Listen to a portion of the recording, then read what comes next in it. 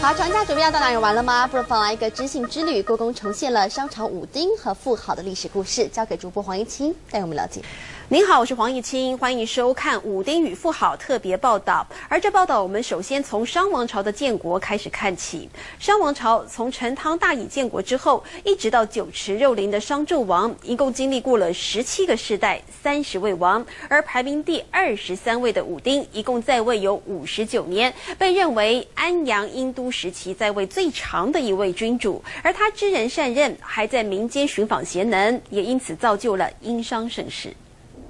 这段影片是一九三零年代殷墟考古的珍贵画面。一九三零年代的时候，中央研究院历史研究所在今天的这个河南安阳进行了呃十五次的发掘。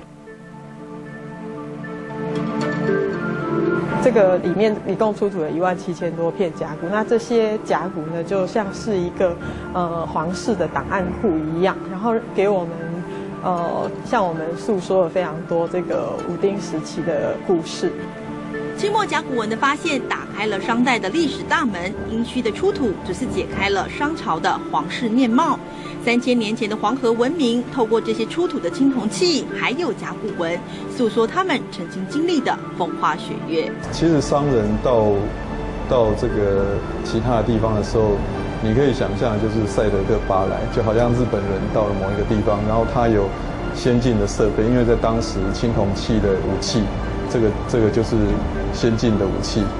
大规模的扩张领土，商王朝六百年的历史最精华的时期之一，就是第二十三位王武丁在位的时候。就是我们现在有时候会笑，有一些人是属于天龙国的人，对，那他们的贵族大概就是这样子的人，就是说是。啊，高高在上的，然后他们的所有的东西都非常非常的讲究。